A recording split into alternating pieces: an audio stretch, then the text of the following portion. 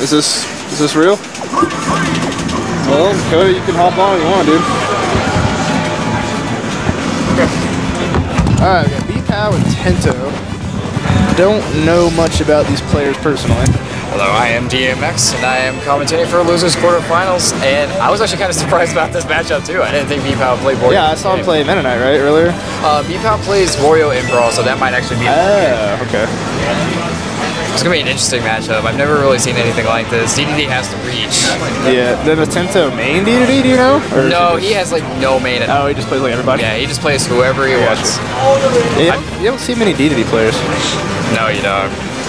Tinto has a pretty uh, crazy uh, DDD though, but he's not doing Oh, too, so well right now. Just goes out I like how B-Pow just threw side B out there. Yeah. Never would have expected it. the air F smash.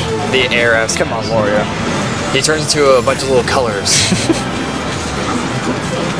oh, that was a nice neutral beam. Just though. fits all of that space penguin into his belly.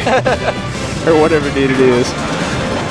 You know that hitbox is actually uh, that grab box is actually really strange. Yeah, it is. Look at it. I, I've had some weird things happen to me with that grab box. You never expected to grab you. Like it can like grab you from kind of behind him sometimes. It's really weird. That's an interesting recover right Please there. nerf. He, he knew B-Pow knew that if he went down below, he would not make it back. Yeah. I don't know. I think DDD is one of the best edge guarding characters in this game. That's not necessarily. I mean, I mean, at least I don't know. DDD has like one powerful option for edge guarding. That's down B because no matter what they're gonna do, no matter how they get up, down B can almost always hit them. Mm. If you charge it up, at least. Yeah.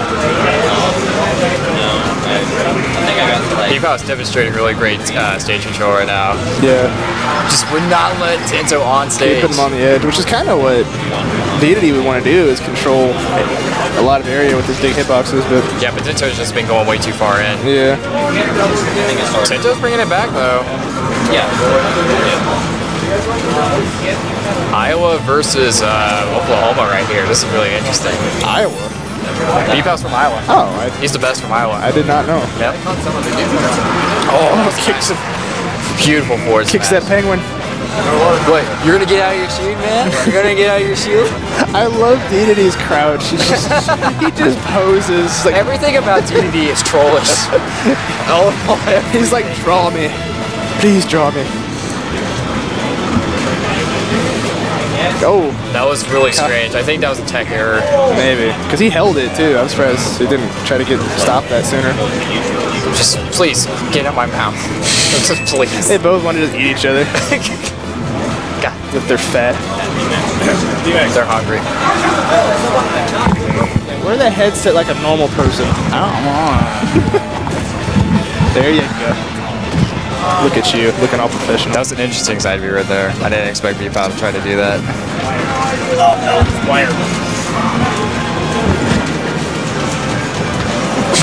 I'm sorry, guys. All right. Oh, That the beautiful air side F view. smash takes him out. I'm just gonna call it that from now on. I honestly think this uh, matchup is pretty even. I think they both have really good tools against each other. Uh, yeah, I can, I can kind of see that. just depends on how they play it. I mean, DD's definitely got the range advantage, but that doesn't mean.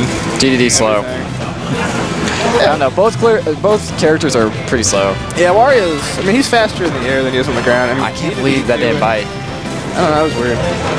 DDD having huge grab range. I think maybe B-Pow went with this matchup because he's actually more familiar with this matchup in Brawl than Meta Knight versus DDD. Yeah, you know? maybe. Yeah. That brawl backgrounds that I don't have. Brawl backgrounds.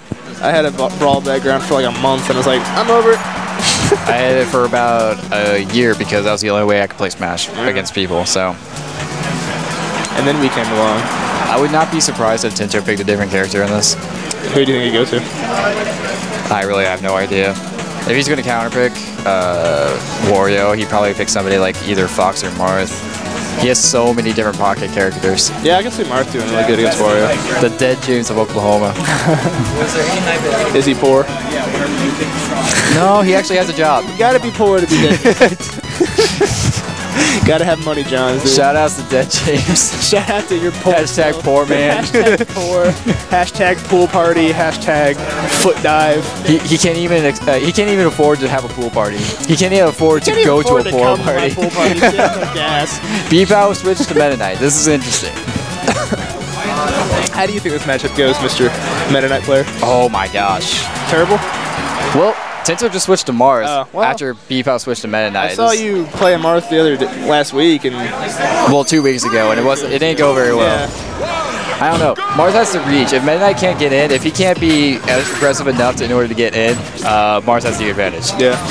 Which Tinto has experience against me, so it may very well be good against for him. I don't know.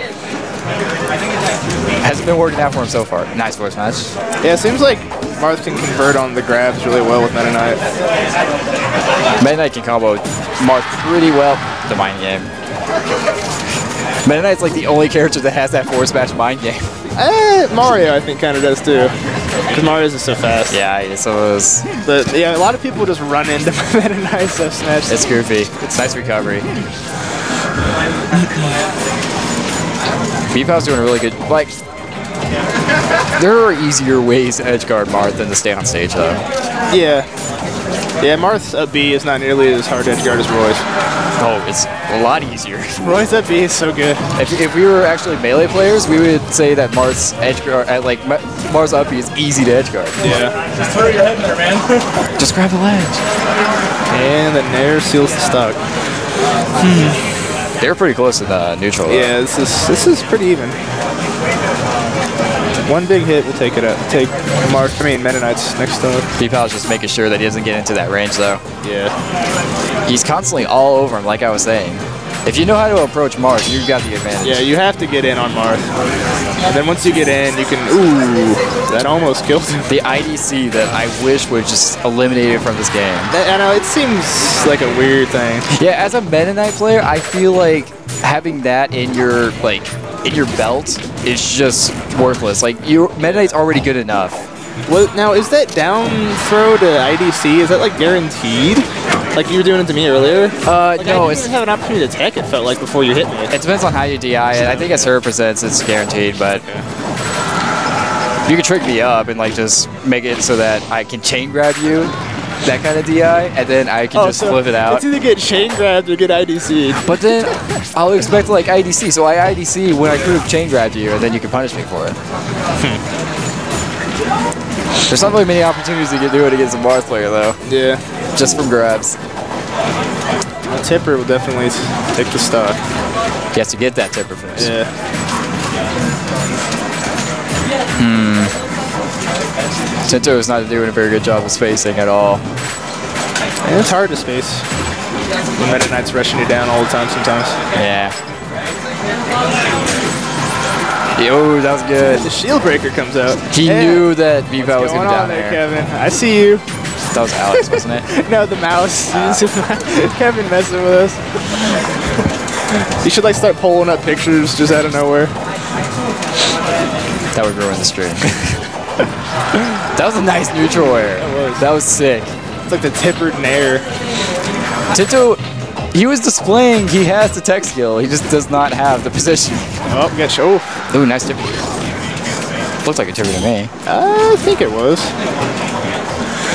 Because they just had like 15%, so I had pretty good knockback for that percent. Something I noticed about Tinto that he that most Mar- Marth players do that he never does is fair. He never fares. Yeah, that's kind of a Marth staple. He's got a fair. I mean, he keeps Knight at bay. Yeah.